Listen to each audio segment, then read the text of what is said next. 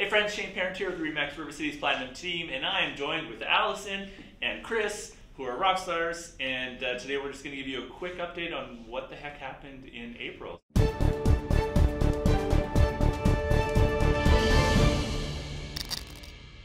Hey, and so uh, what we've really been seeing is a bit of a slowdown, which is kind of neat to see. a lot less multiple offers. Uh, there's been some recent interest rate increases, uh, but although the perception is that it's a big deal, it's pretty minor, right? But people are feeling that, and uh, as such, kind of activity has slowed a little bit. Uh, I think it's a bit of the calm before the storm, to be honest with you.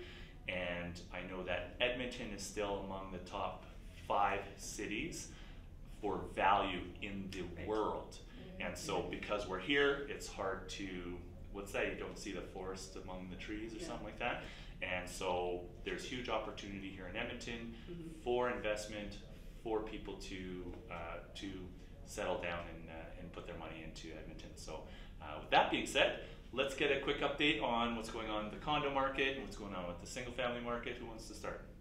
I'm gonna go. Single family, let's do it. So single family, uh, it's not quite as chaotic as we were seeing um, in March.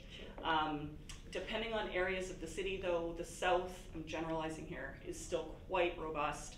Um, you know, things are turning and burning quite quickly, and there's still lots of multiple offers. But whereas we were seeing, say, 20 or 15 offers, we might be getting half of that. Um, you know, negotiated a deal the other day and it was under list price. Now that would probably be the exception rather than the rule. Um, but it was still multiples and it was still accepted under list. Right. So it's not all of them going above, um, but yeah, overall it is settling down a bit. So that's probably a combination of there is more inventory. Um, you know, the interest rate stuff's having a piece of it. So uh, overall, days on market, it's around 23. Um, that's still much lower than it was last year. Um, year over year, single family homes are about, um, they're up about 10 to 11%. Um, and still month over month, they've increased around 2%. So we're still seeing increases, um, just not as drastically as we were at the beginning of the year. Great. Yeah. Healthy, I think. Yeah. Right. Mhm. Good. Good. Uh, and then uh, condo market. What's happening? Well, we saw a little bit of a yay last month. This month, they've calmed down. apartment style condos, I should say. Row housing, a different category, but the apartment style condos have gone down a tad from last month. Um, about 3.7% from last month. So, The average sale price. Yeah. Yeah. Okay. yeah, for Yeah. the price, sorry. That's Um, okay. Yeah, and so, I mean, they're still moving, um, and we're not seeing as many multiples on them, but they are still moving. A little bit of a lull again, back to kind of where we started, but they're moving. Yeah. Cool.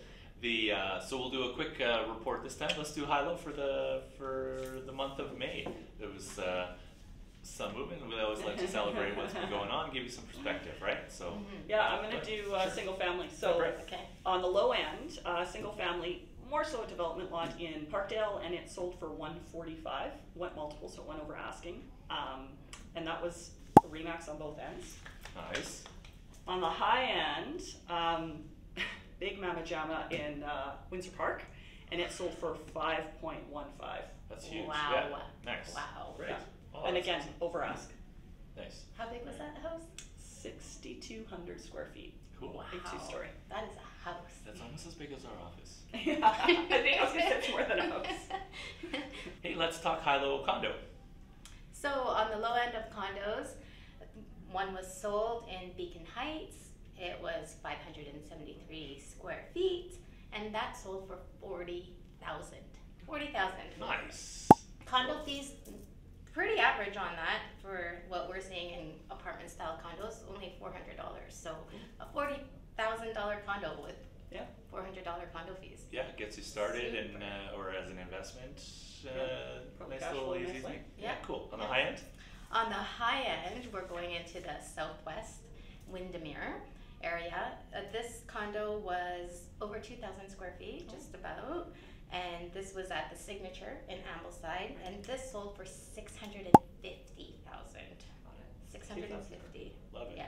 Well, and I made a note that uh, you know, although in Edmonton, almost forty percent of all deals has a Remax agent on Mhm. one side or the other. Mm. It was cool to see on the high lows for this month All that Remax. they were all Remax on all sides. So the yay, Yeah. Remax. Yay. Yeah, and so, uh, just in closing, is there anything that you guys are looking for for buyers that you're not seeing out there that we could use some help on? Yeah. Inventory. bungalow, beautiful bungalow in the south in a great area, thirteen hundred plus square feet. Um, that would be good for a family of four. Really looking for something like that. Um, condos, I guess, you know, two bedroom, two bathroom, decent condo fees. Basically, downtown condos are great, but also in the newer divisions as well. Right. So if you or anyone you know Mhm. has something like that that they're looking to sell, reach out to us direct. Please. Maybe we get an off-market deal, no Yeah. showings, any of that stuff. Uh, also, as we always say, real estate is neighborhood specific. So if you do want a little bit of an insight of what's going on in your neighborhood Mhm. or what, uh, how this economy has affected your home's value, we're always happy to have a chat and be a resource for you. So reach out Absolutely. to, uh, to any of us. Have a great day.